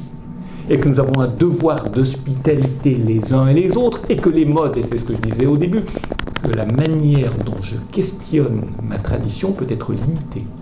Non, je ne le disais pas au début, je le disais avant la conférence, à quelques personnes. Quand je dialogue avec le cardinal Barbarin, puisqu'il a été fait référence à ce livre, quand je dialoguais avec lui, qu'est-ce que ça m'a apporté? On peut dire pacification des relations entre les religions qui n'ont pas toujours été bonnes. Très bien, c'est déjà pas mal, mais c'est pas tout. Ça m'apporte quelque chose. Alors que d'aucuns me diront, au lieu de dialoguer avec le cardinal, tu ferais mieux d'étudier la Torah un peu plus et d'enseigner un peu plus et, et, et avoir plus d'élèves. Il n'a pas tort, mais, mais en même temps, il a tort. Pourquoi? Parce qu'en réalité, ce n'est pas la lecture des évangiles qui va m'influencer en tant que juif et faire de moi un, juif un petit peu chrétien. Par contre, quand j'écoute le cardinal et que nous nous posons les mêmes questions parce que le modérateur nous pose des questions à l'un et à l'autre qui sont les mêmes, ce que j'observe, c'est que son mode de questionnement de sa tradition est nourri par le type de tradition qu'il a éduqué. Je veux dire par là que ses réponses soient très différentes des miennes, c'est normal, lui est chrétien, moi je suis juif. Mais je me rends compte que lorsqu'il écoute une préoccupation du modérateur, il interroge sa tradition à partir d'un certain mode de questionnement qui est le fruit de son histoire, le produit de son histoire, de sa culture, de sa pratique religieuse, de son éducation religieuse, de ce qu'il est en tant que catholique. Et là, je me rends compte qu'il se pose des questions que moi, je ne me suis jamais posées. Mais ça ne va pas me conduire à épouser les évangiles ou les épîtres des autres. C'est pas du tout la question. Ça va me conduire à poser des questions que je ne m'étais jamais posées, mais à ma tradition, à moi. Parce que quand j'interroge ma tradition, je m'interroge avec les questions que mes parents, mes maîtres, mes livres m'ont toujours appris. Mais c'est un type de questionnement qui est limité dans le nombre et dans les modalités ou dans le relief ou dans la forme. Par contre, lorsque j'entends un mode de questionnement qui est différent du mien, je l'utilise pour questionner ma tradition. Il est évident que si je questionne autrement ma tradition, ça c'est le dialogue interreligieux, mais pour le dialogue interculturel, c'est la même chose. La table d'Abraham, c'était le sujet de ce soir aussi. Eh bien, je vais interroger ma tradition c'est-à-dire mes textes de la tradition ou les textes de ma culture, je vais les interroger autrement. Et si je les interroge autrement, j'y trouverai autre chose. Pas autre chose qui va s'opposer à ce que, mais qui va s'ajouter à ce qui existait déjà. Et en ce sens, le dialogue interreligieux comme le dialogue interculturel peut être une chance pour moi parce que ça me permet de trouver dans ma tradition des ressources inattendues et des richesses que je n'imaginais pas pouvoir trouver dans ma tradition.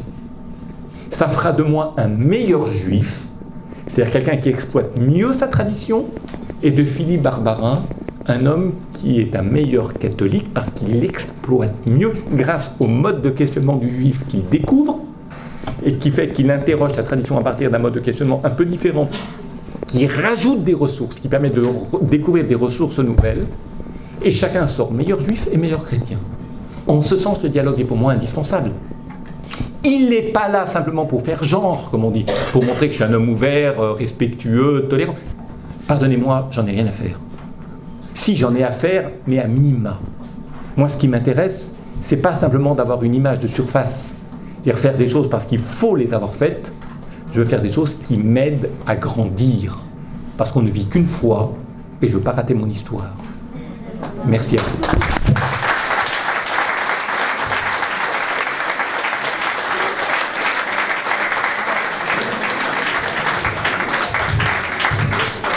Merci, Monsieur Rabbin, pour cet exposé euh, riche et passionnant.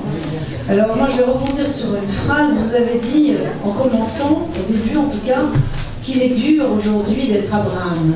Et en vous écoutant, eh ben effectivement, je, conclus qu'il est effectivement très dur d'être Abraham aujourd'hui, parce que vous avez mis l'accent sur la nécessité des limites.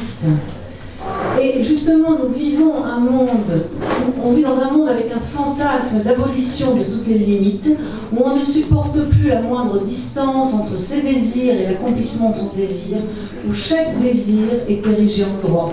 C'est ce que je, la conclusion un peu que je ferai à votre, à votre exposé, mais je ne vais pas m'étendre davantage et je pense qu'il faut laisser la parole à la salle qui a certainement de nombreuses questions.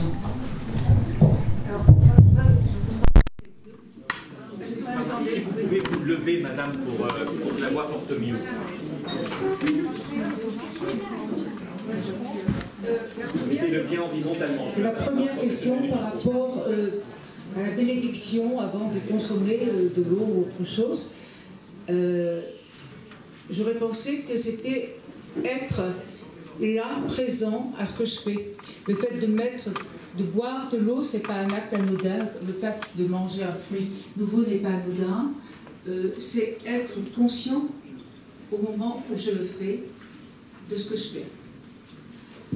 Et la deuxième question que je vais poser, c'est qu'est-ce que vous appelez, enfin qu'est-ce qu'on appelle la mauvaise connaissance On peut prendre votre question?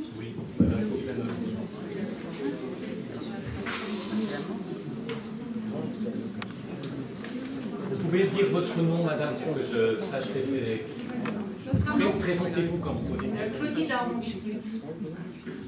Notre ami arménien.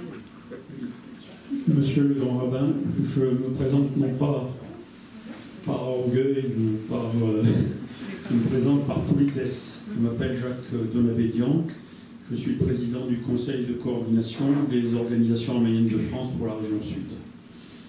Donc je tiens d'abord à remercier le Centre FLEC de m'avoir invité pour participer pour écouter cette extraordinaire conférence.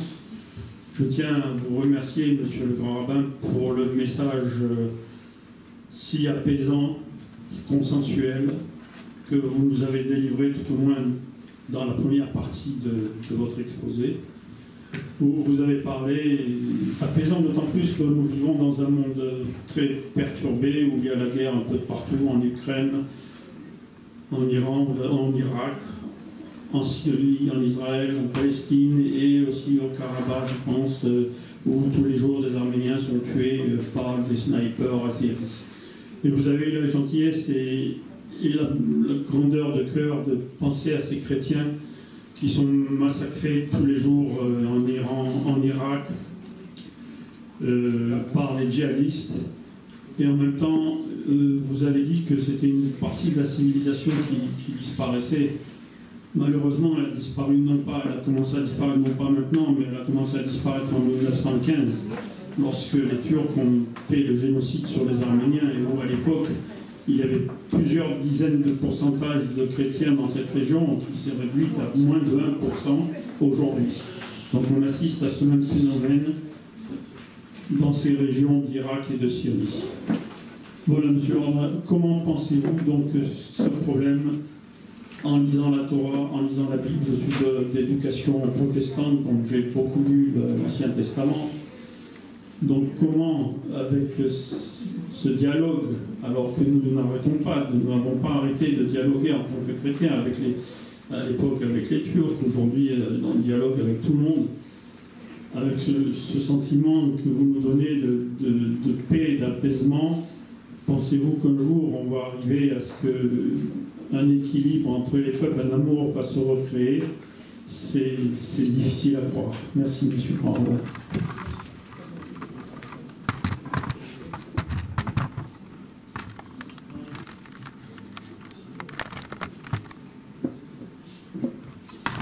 Bonsoir, monsieur le grand rabbin, je me présente, je m'appelle Eve Lesmi. Alors la question, je voulais simplement... Eve Lesmi. La question que je voulais vous poser, c'est pourquoi parle-t-on de bonnes ou de mauvaises connaissances puisqu'il ne faut pas manger les connaissances? Pourquoi ne pas dire simplement ne pas manger les connaissances? Pourquoi préciser la bonne et la mauvaise? Merci. Une question encore? Juste un instant, je, juste le temps. Pardon, laissez-moi juste le temps de la noter, sinon je, sinon je n'y répondrai pas.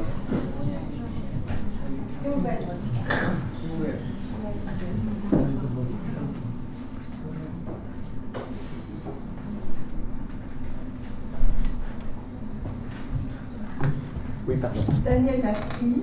Daniel Lasri. Dasri. Oui. Lasserie. Lasri, pardon. oui.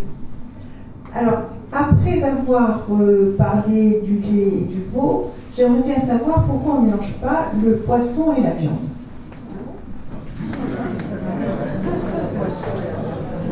C'est bon Ah, Une dernière réponse. Bonsoir, je suis Signoana. Euh, vous avez parlé au début euh, de Adam et Ève qui ont consommé euh, l'arbre de la connaissance. Donc, euh, c'est une, ils se sont connus tous les deux et ils ont été chassés parce qu'ils ont voulu mourir un peu, selon la Kabbale. Et pourquoi? Puisque Dieu savait que pour produire une génération, il fallait qu'ils qu'ils meurent un peu. Un. Deux, vous avez parlé du verre d'eau et de, vous avez dit que euh, euh, on s'appro- pris le verre d'eau. Et en fait, euh, c'est dans le verre d'eau, il y avait une mort qu'on a euh, donné la vie par rapport pour la prière, parce que vous avez dit au début que tout est réparation dans ce monde-là. Donc on a quelque part spiritualisé cette matière qui est le- l'eau et lui donné une vie à l'au-delà. Je pense que c'est ça. Je pense qu'on va s'arrêter là.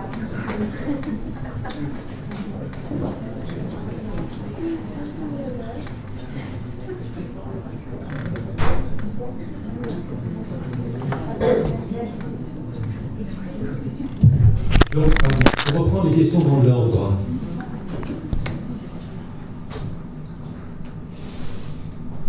Question qui m'a été posée par euh, euh, Monsieur Bismuth. Madame Bismuth, pardon, je n'avais pas noté euh, Monsieur ou Madame. Pardon. M'avez posé deux questions. Pro- D'abord à propos de la bénédiction.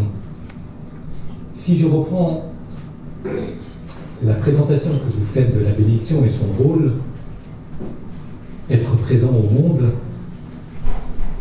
philosophe de formation, ça me fait penser à ce qu'on appelle les instants heideggeriens, euh, être au monde, l'étang, pas un étang où on se baigne, l'étang E-T-A-N-T, du verbe être.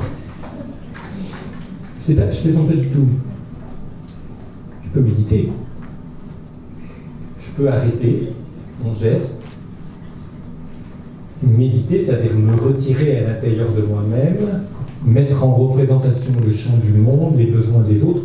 Je n'ai pas besoin de passer par la bénédiction. Je n'ai pour ma part jamais imaginé que le seul moyen d'aboutir au sens passait par le rite tel que la Torah l'énonce. Simplement, c'est ma colonne vertébrale en tant que juif. Alors, il y a des gens qui accomplissent des rites mais qui ne donnent aucun sens parce qu'ils n'en savent rien. Ils font ça mécaniquement. Il y a des gens qui n'accomplissent pas les rites, mais qui ont une vie spirituelle intense. De quelque culture et de lieu d'où ils viennent, peu m'importe, de quelque histoire. Simplement, en tant que juif, j'en fais pas un motif de fierté, j'en fais un motif de responsabilité. Le rite m'oblige. Et la manière que Dieu a donnée au peuple juif d'être obligé à l'égard du monde passe par des rites, par des gestes, par des paroles à prononcer, dont nous avons l'exclusivité pour nous, mais nous ne contraignons personne, et je suis profondément respectueux des gens qui savent bénir, autrement que par les mots qui sont les miens, mais qui aboutissent au même sens donné à ce que bénir l'eau veut dire. Il y a plusieurs personnes qui ont été, qui sont restées accrochées sur la bonne et la mauvaise connaissance. Donc je vais répondre globalement. La question est venue plusieurs fois, au moins deux fois, sinon une troisième fois.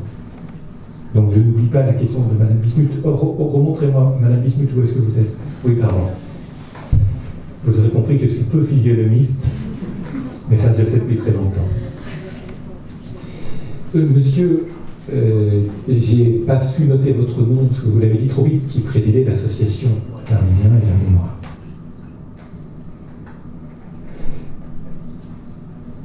Vous avez dit un certain nombre de choses importantes auxquelles je n'ai rien à ajouter, vous les avez dites. Et vous avez posé une question à la fin. Une question qui est à la fois générale et difficile.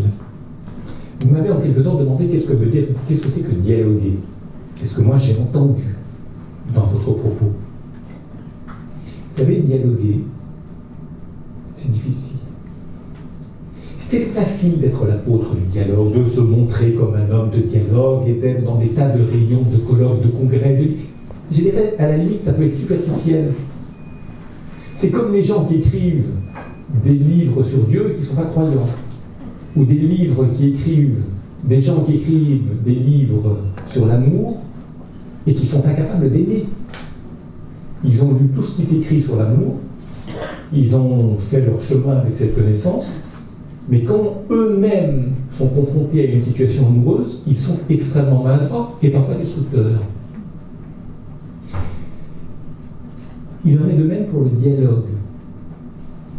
Pour le dialogue, monsieur, il me faut accepter, je reviens à la conclusion de mon exposé tout à l'heure, il me faut accepter d'être interpellé par quelqu'un qui pose des questions que moi je ne me pose pas, pour me contraindre d'aller chercher dans ma tradition dans ma culture ou dans ma mémoire des choses que je ne connaissais pas.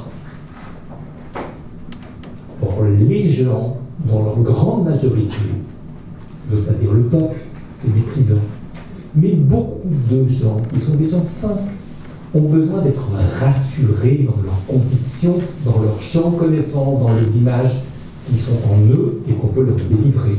Vous savez, c'est comme des gens qui font comme ça quand vous parlez. Ils sont rassurés, vous leur dites des choses qu'ils savaient un peu, mais vous dites mieux qu'eux. Mais vous ne les questionnez pas. J'ai commencé par dire en début de soirée qu'un juif est un inquiéteur. On ne peut inquiéter qu'à condition d'accepter d'être inquiet soi-même. Sinon, c'est la perversion d'inquiéter les autres et d'être autosuffisant soi-même. Ça, c'est dialoguer, c'est difficile le dialogue. Difficile. Il faut accepter beaucoup de choses, lire, écouter, savoir écouter. Même dans les couples, je reviens à la vie des familles, même dans les couples, savoir écouter sa femme, son mari, ses enfants, c'est pas simple. Savoir écouter, c'est ce que j'appelle écouter, c'est pas faire semblant d'écouter. C'est comme celui, un prof qui a surpris un élève qui semble ne pas écouter, lui dit Est-ce que tu peux répéter ce que je viens de dire? Et l'élève sait répéter parce que c'est comme une mécanique mentale, il a mémorisé la musique des mots. Mais c'est pas pourtant qu'il a entendu ce que le maître a dit. C'est la différence qui peut exister entre écouter et entendre, ou entendre et écouter, je ne sais plus dans quel mot. Difficile. Je ne sais pas si les juifs savent mieux dialoguer que d'autres. Ils pourraient savoir mieux. Le problème, c'est qu'ils ont pris beaucoup de coups et ils ont très peur de ce fait. Comme beaucoup de gens qui ont pris des coups, ils ont peur du dialogue parce qu'ils savent ce qu'il y a derrière. Comme euh, derrière le dialogue, on leur a promis, euh, ils ont vu des zones d'ombre, pour ne pas dire d'obscurité ou de violence, ils en sont revenus et ils y vont à tâtons là-dedans. Comme va dire Avoki. Madame Nezmi, vous m'avez demandé pourquoi ne pas dire ne pas manger la connaissance plutôt que de parler de la bonne et de la mauvaise connaissance. C'est faux de dire qu'on n'a pas le droit de manger la connaissance. Réfléchissez un instant, c'est faux philosophiquement. Pourquoi? Je reviens à l'exemple que j'ai donné tout à l'heure, j'aime travailler sur des situations de vie. Attendez. Est-ce que, et c'était l'exemple d'Abraham, dans le que j'ai cité au tout début, est-ce que je peux ne pas manger? Non, j'ai besoin de manger. Et quand je mange, je m'approprie quelque chose du monde qui fait que les autres ne l'ont pas. Quand j'ai une relation intime avec la femme que j'aime, je vais satisfaire un besoin, un désir, je vais l'épuiser quelque part. Est-ce que je n'ai pas le droit de manger, c'est-à-dire de consommer l'acte sexuel, c'est-à-dire la intime, cette forme de mendication de l'autre, du corps de l'autre? Est-ce que ça m'est interdit? Non! C'est pour ça qu'on ne dira pas que tu ne mangeras, tu n'as pas le droit de manger de l'art de la connaissance. Tu as le droit de tout manger à condition que lorsque tu manges, tu saches préserver cette part de connaissance qui t'échappe et ne pas chercher à la réduire à rien. C'est pour ça qu'on va parler de bonne et de mauvaise connaissance selon qu'on en est dans un ou dans l'autre cas de figure. Mais si vous dites il est interdit de manger de la connaissance, vous êtes dans le faux, ça veut dire que vous êtes dans un monde complètement platonique, un monde de l'esprit un monde des idées, mais un monde où il n'y a pas d'acte, où il n'y a pas d'emprise sur le réel. C'est le monde d'Abel. Grâce à qu'un, Abel ne dit pas un mot. Vous n'avez pas un mot de l'homme Abel. C'est un homme d'esprit, mais un homme sans acte, sans réalisation. Et quand il est confronté à une difficulté, parce qu'il sacrifié dans le champ de Cain, sur le territoire de Cain, il se fait jeter. Je n'excuse pas le meurtre d'Abel par Cain. J'explique quelle a été la faiblesse d'Abel qui va développer en qu'un sa plus mauvaise part. C'est pas pour dire que l'un et l'autre se valent. Ça veut dire qu'il y a une faute chez Abel, il y a un manque qui va le précipiter chez celui qui va tout casser. Madame Nasri, vous m'avez demandé pourquoi, merci, pourquoi on ne mélange pas de poisson et la viande. D'abord, le mélange ou l'interdiction de mélanger le poisson et la viande n'a pas du tout la même importance et n'oublie pas du tout les mêmes règles que l'interdiction de mélanger la viande et le lait. Vous n'avez pas d'interdiction biblique de mélanger le poisson et la viande. Pourquoi faut-il changer les assiettes c'est une tradition rabbinique, ce n'est pas une loi biblique. Une tradition rabbinique qui a un sens, je ne vais pas vous donner. C'est pas que je suis égoïste et j'ai décidé de vous brimer. Je dis simplement parce que je n'aime pas balancer du sens comme ça, en donnant l'impression il y a réponse à tout, et ceci, ça. Il y a un vrai travail de recherche du sens. Je me permets simplement de vous dire que c'est une tradition rabbinique d'une importance très moindre, c'est-à-dire sans importance, d'une importance très moindre, et qui ne se construit pas du tout sur le même mode de raisonnement. Je voulais simplement répondre cela pour que euh, tout ne se confonde pas. Dernière question posée par Madame Oana. Pourquoi Adam et Ève meurent-ils? Je dire une chose. Là, dans partie de la question ou des questions que vous m'avez posées, il y a une chose qui m'est apparue comme évidente, c'est que je suis un très mauvais enseignant. C'est-à-dire que ça ne m'effraie pas. Ça ne m'effraie pas parce que j'ai une certaine pratique de la communication publique de par des fonctions que j'ai occupées, et je sais comment on peut être entendu alors qu'on croit avoir dit que. Et on est très surpris lorsqu'on lit le compte rendu que les journalistes font ou d'une dépêche de trouver des mots, des idées que l'on ignorait soi-même. Comment il a pu entendre ça? Alors on a envie de dire, vous ne pouvez pas réécouter la bande, j'ai jamais dit ça. Si on réécoute la bande, oui peut-être, mais sans doute n'était-je pas clair. Peut-être suis-je une très mauvais pédagogue, peut-être me suis-je embrouillé à un moment donné, et je le regrette. Mais s'il est une idée contre laquelle j'ai résisté de toutes mes forces, c'est la spiritualisation de l'eau. J'ai précisément dit que ce n'est pas pour spiritualiser l'eau, ça c'est une religion qui n'a rien à voir avec le Torah. On est dans le fétichisme. C'est pour, au travers de mon rapport à l'eau, réintroduire l'autre dans son rapport à l'eau et je dirais, c'est le principe de la loi, briser la relation entre l'eau et moi, c'est-à-dire entre le monde et moi, qui ferait que les autres n'existent plus, et réintroduire l'autre au moment où je me crois seul au monde, parce que j'ai très soif et rien ne résiste à mon besoin de moi. Ça, c'est introduire l'idée de la loi, l'idée du tiers garant, parce que l'idée de la loi, c'est l'idée du tiers. Madame, c'est quoi la loi? Il y a vous, il y a moi il y a l'autre qu'on ne connaît pas aussi. Oui, j'ai bien compris. La loi, c'est quoi? Il y a vous, il y a moi. S'il n'y a pas de loi qui me dit à cet endroit tu dois t'arrêter, ce n'est plus ton espace de vie, ce n'est plus ton désir à toi, tu dois respecter l'espace de vie et le désir de l'autre, on est, s'il n'y a pas de loi qui fixe la limite, on est dans le risque que Madame rappelait tout à l'heure à propos du tout se vaut, on est dans l'espace où il n'y a plus de frontières au désir des uns et des autres, et le meurtre est à la clé. Le meurtre symbolique, toujours physique, mais symbolique en tout cas. Or, moi, je ne peux pas fixer la loi, c'est-à-dire la limite qui nous sépare, et vous non il faut qu'il y ait un tiers, c'est-à-dire quelqu'un qui nous observe et qui dise entre Madame Rona et Monsieur Bernheim, là est la frontière. Nous, monothéistes, juifs, nous appelons ça Dieu. Mais je peux concevoir que le tiers est garant. Celui qui fixe la loi entre des individus ne se rappelle pas Dieu. On peut l'appeler de X manières différentes.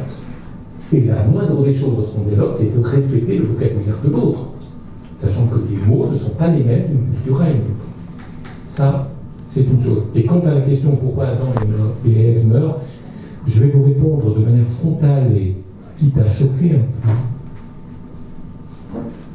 Je n'en ai rien à faire de la mort d'Adam et Ève. Mais non, rien Ça ne m'effleure même pas, ça ne m'intéresse pas. J'y crois pas. Et je vais vous expliquer pourquoi. C'est pas que je ne crois pas en la mort de Moïse, Abraham, Isaac et Jacob, ça j'y crois. Mais Adam et Ève, pas du tout. Ce qui se passe avant le déluge m'indiffère. Et surtout ce qui se passe avant Cain et Abel m'indiffère totalement. Je ne suis pas du tout convaincu que ça, s'est passé.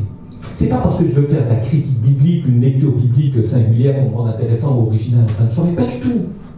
Pas du tout. Mais j'ai étudié le texte de la Kabbale. J'ai étudié les textes du Midrash. Et voilà ce qu'ils me disent. Le Éden. Ouais, ça, c'est ce que je croyais dans mon enfance et mon adolescence. Moi, je pensais que c'était un certain territoire, et puis quand ils ont fauté, ils ont été jetés. Je les voyais arriver sur un petit panier, le nuage qui se crève, il y a un qui arrive chez nous, et puis c'est ça. Enfin, on a tous un petit peu cette. Euh, je caricature un peu cette image de la chute de, du paradis pour entrer dans le monde qui est le nôtre, difficultueux, etc. Pas du tout. Ça, c'est ce que je croyais. Mais le Éden, le point de départ, c'est un idéal qui est fixé. Et on nous dit, voilà ce qui se passe lorsqu'on mange de l'arbre de la bonne ou de la mauvaise connaissance. Vous savez ce qui se passe C'est pas qu'on meurt. Si, on meurt. Mais c'est pas Adam et Ève qui sont morts. Ils sont pas morts. Est-ce qu'ils sont morts après la mort du Non, ils ne sont pas morts. Ils ont consommé. Et ils sont morts? Et ça veut dire qu'ils ont eu des rapports sexuels, donc ils sont morts un peu pour donner vie, pour donner de la vie. Donc euh, de la mort sort la vie et de la vie. Non, mais ça, j'ai pas besoin du texte biblique pour savoir ce qui se passe dans un acte intime. J'ai pas besoin du récit d'Adam et Ève pour savoir ce qui se passe physiologiquement dans un acte sexuel. Par contre, ce que la tradition rabbinique va dire, c'est que la mendication de l'art de la bonne ou de la mauvaise connaissance introduit la mort dans le monde. C'est pas la mort physique au sens qu'ils sont morts un jour, alors qu'ils auraient été immortels. Qu'est-ce que ça m'intéresse qu'ils auraient été immortels? Qu'est-ce que ça m'intéresse sur le fond? Ça veut dire quoi? Ça veut dire qu'il n'y aurait pas eu de descendance? Si, les parents sont immortels, il n'y a pas d'enfants. Si, si, mes parents ne meurent pas un jour, il ne peut pas y avoir de descendance. Imaginez que personne ne meurt. Le, principe même de la transmission, de la construction et de la construction de la santé n'est plus possible. Il a pas besoin d'être un génie pour le comprendre. Qu'est-ce qui se joue Ceci. Adam et Ève mangent de l'arbre de la bonne ou de la mauvaise connaissance, conduit à la mort. C'est quoi la mort? C'est le meurtre d'Abel par Cain. Autrement dit, manger de la bonne ou de la mauvaise connaissance s'explicite en le meurtre d'Abel. Vous savez pourquoi je dis ça? Et ça sera ma conclusion. Abel, c'est l'homme qui connaît et qui mange pas. Cain, c'est l'homme qui ne fait que manger et qui connaît pas. Or, pour arriver, c'était l'objet de toute notre étude ce soir, pour arriver à nouer ensemble ce que manger et connaître veut dire qu'il faut qu'il y ait un vrai dialogue, au sens où on a donné le mot dialogue quand j'ai répondu à monsieur. Or, il n'y a pas de dialogue entre Abel et Cain parce qu'Abel ne parle pas. Il ne pose aucune question, il ne donne rien à Cain, il n'apporte rien de sa vie de l'esprit à Cain. Alors que ça génère, que ça engendre un mort, un meurtre est une autre chose, et je n'ai pas expliqué pourquoi, c'est pas l'objet de mon propos ce soir. Mais la modification de l'arbre de la bonne ou de la mauvaise connaissance s'explicite, ex apostrophe explicité, dire se développe, s'incarne, s'ancre dans le réel, on retrouve à ce moment-là, dans une histoire qui s'engendre, le germe de mort qui trouve sa forme, sa réalité dans le meurtre d'Abel. C'est ça l'interdiction de manger l'arbre de la connaissance. Ça, ça me parle. Parce que quand et Abel, ça me parle. S'ils se jouent entre eux, ça me parle. Mais moi, là-haut, dans ce jardin d'Éden, un, arbre de la connaissance avec un Adam et un Ève, quand j'étais adolescent, je l'ai longtemps, je peux vous dire que ne me parlait pas. C'était quelque chose de complètement euh, insensé, c'est-à-dire sans, sans, sans référence au réel. Mais qu'un paradigme, c'est-à-dire une notion, une idée, s'exprime dans la réalité, elle se développe dans la réalité, elle elle trouve sa réalisation dans le réel. Ça, c'est le mode de lecture biblique. Et d'ailleurs, avant Adam et Ève, il y avait la construction de l'humain qui était de poussière du sol et souffle de vie. Souffle de vie, ça renvoie à l'esprit, poussière du sol, ça renvoie au réel, à la nature. On retrouve l'histoire de Cain et on retrouve manger, connaître. Et avant la construction de l'humain, façonnage de l'humain, il y avait quoi? La création des cieux et de la terre. Et avant la création des cieux et de la terre, il y avait une lettre en laquelle tout était dit. C'était la première lettre premier mot, du premier verset. Bête. Le monde, dit le Midrash, a été construit selon le principe de dualité.